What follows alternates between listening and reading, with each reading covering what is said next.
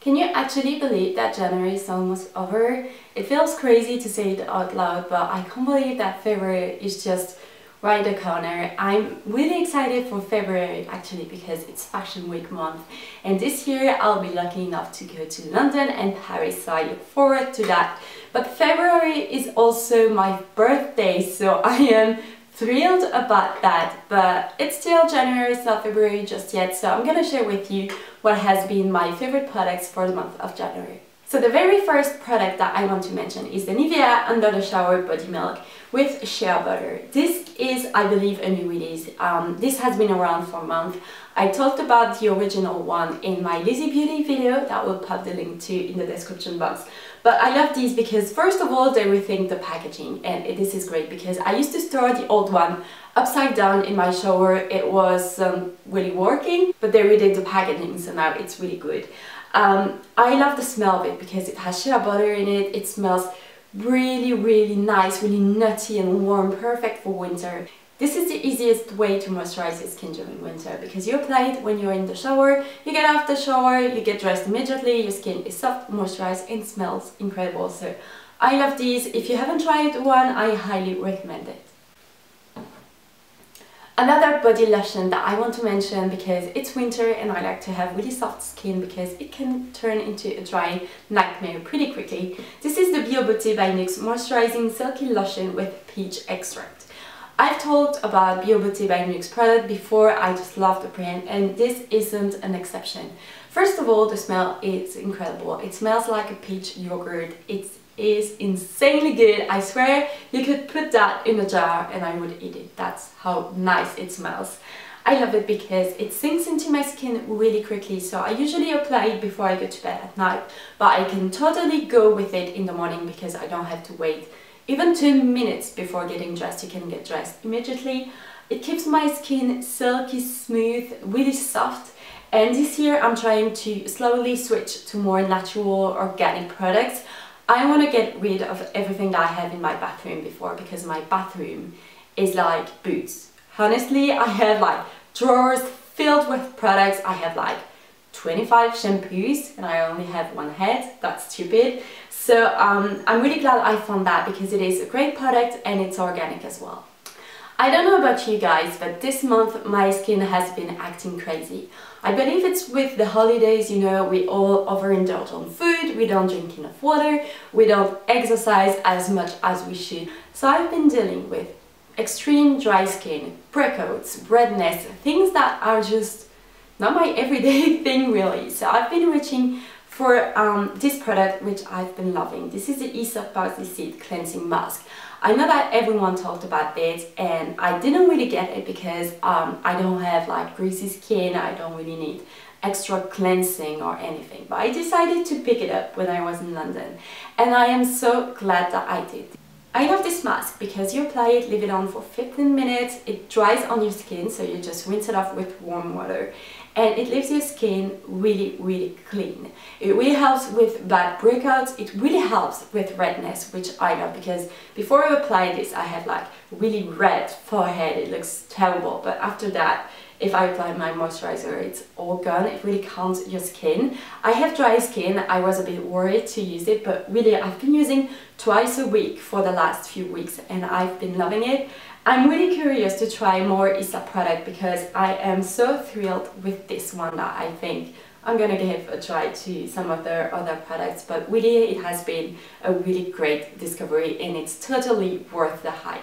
Another product that I picked up when I was in London, it's the Indeed Lab Pepta-Bright. The reason I picked this one up is because I've been loving Hydraluron and I wanted something new and this is supposed to help brighten your skin. And in the dead of winter, I would struggle with um, bright skin. My skin looks dull and I don't really like it. So I've been trying this one. To tell you the truth, this is a serum. I thought it wasn't going to be moisturizing enough for my dry skin. So I used to mix it up with um, my uh, Sampa serum during the day. But I found that that it's moisturizing enough so I can go with it for the day. So I use it every morning before I apply my moisturizer. I don't use any other serum with it now. It's fine, it keeps my skin moisturized enough and really helps to brighten your skin. This month I've been loving a new perfume. This is from L'Occitane and it's a Cerisier Rouge perfume.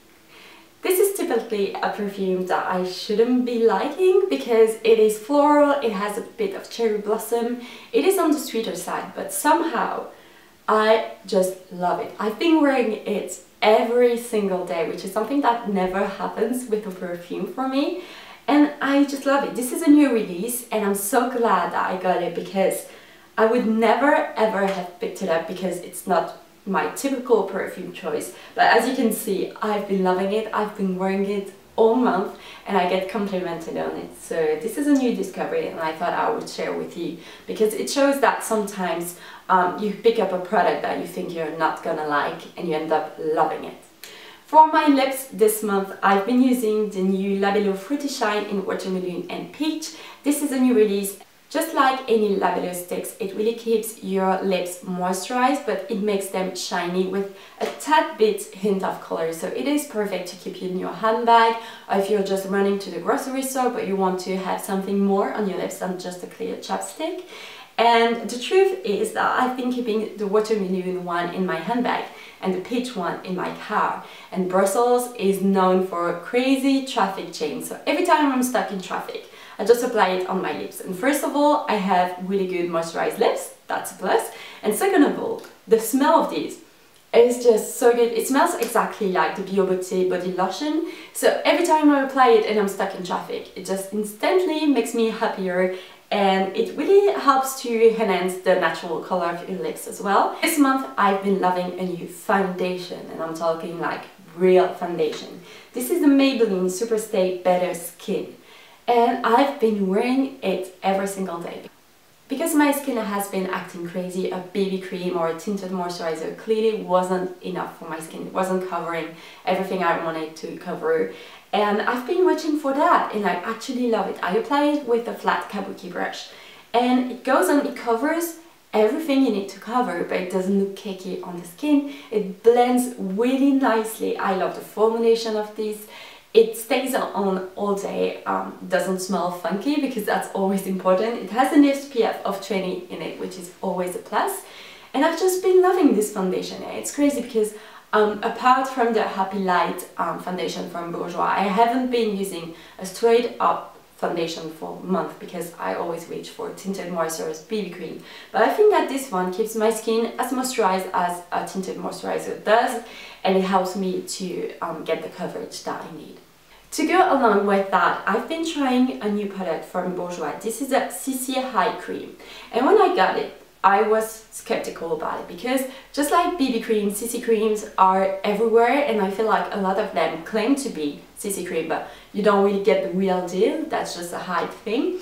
But I tried this one and I was crazily amazed by it. As you know, I have crazy under eye dark circles um, and I've been using that and it really helps to um, cancel the blueness of your dark circles. Before that I was using the Bobbi Brown corrector and I love it but it's really heavy and sometimes you don't want to deal with the whole blending thing. So I've been reaching for this little tube every single day and I am truly amazed by it.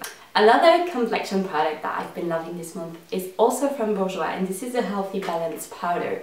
I picked this one up when I was in London because I needed kind of a new light powder and I heard so many good things about it and I'm glad I did pick it up because I like to powder my face because as much as I love a dewy finish, I always feel like my skin looks greasy on the T-zone even though I have dry skin. So I like to use um, a really light dual fiber brush and just apply a bit of powder on my T-zone. It really helps to mattify your makeup without looking too matte in the meantime. Um, I know it sounds a bit crazy to say, but I'm sure you all know what I mean. I've got a new MAC blush. This is a Sheertone blush in Pink 3. And when I first got it, I was so scared of the color. But surprisingly enough, this is really sheer. So you apply it, it doesn't have that much pigmentation, but it looks insanely good. It looks like you have been walking in the English countryside for an hour and you have a really nice natural flush. I've been loving it again. I've been wearing it every single day this month. Um, by the way, I think that everything I mentioned, yeah, I have on my face right now. I had the Maybelline foundation, the Bourjois powder, I have this blush on that tells you how much I love this product. I feel like in every favorites video I have a new favorite mascara but I've been trying this new thing where I really need to go through my mascara collection because I have a mascara collection. Which is bad because you're supposed to throw your mascara away after like six months but for some reason I always get mascaras and I want to try it and then I have a new one so I want to try it and I love it so I keep using for a week then I have a new one I want to try it and I build up a mascara collection. But this month I've been working in this collection and I picked up an old favorite. I'm pretty sure I mentioned it before but it is so good that it deserves a new mention. This is from Yves Rocher and Yves Rocher is a brand that recently redid their product and I've been loving a lot of their stuff. This is the Sexy Pulp Volume Mascara and I love it because first of all it is super super black which is something that I always love. It really helps you to develop volume on your lashes. It lengthens them a bit but it really adds a lot of volume and I just love it because it is affordable, it is a great mascara, it doesn't like flick underneath your eyes, it stays on for the whole day, it makes your lashes look incredible. Like Yves Rocher is a brand that we all overlook but really they have some incredible product and this mascara is just proof. Something else I'm wearing today, this is a Scandaleyes from Rimmel London eyeshadow pen. I have no idea what the shade is. Um, I've been looking over the packaging and I can't seem to find the name of this color. But it is the bronzy shade that I have. I picked this one up again when I was in London because Rimmel was on offer 342 and I've never heard anything about these and this color is right up my alley. I love a good bronzy shade. I picked it up and this is by far one of the best thing from the drugstore. I never tried a liquid eyeshadow before because I am scared of liquid eyeshadow and they often come in like blue colors or pink or things like that I don't really want to try. So I decided to go for the bronze one. You can apply it without an eye primer. It stays put on your lids forever. That's the thing I've been using every time I go out at night. It is amazing. It stays on your eyelids forever it doesn't seem to wear off, it doesn't crease, it doesn't do anything like that. And the color stays as intense as when you applied it. That's the one I used on my eyes today and it's, so easy to create a makeup look. It comes with like um, a lip gloss kind of applicator. So you just swipe it on your eyelids, you swipe a bit underneath, take a blending brush, blend everything nicely and that's it. It takes like two minutes starts to finish and it looks like you spent hours doing your makeup. Last but not least I have a new favorite makeup brush. This is the Bobbi Brown Smoky Eyeliner and I've been using it to define my lash line with a dark brown eyeshadow just like I did today. This is really good because you can get close to your lash line but it will um, smoke everything up so it's not like a straight eyeliner line. It really is good to um, blend your eye pencil, your eyeshadow. I just love this brush and it's really dense and it's really flat so it's perfect to really work near your lash line and I've been using it every single time I use the Rimmel eyeshadow. I also want to quickly mention something is that I'm stupid and I, I accidentally deleted my YouTube channel a couple of months ago. Um, I managed, thanks to my boyfriend, to put it up again.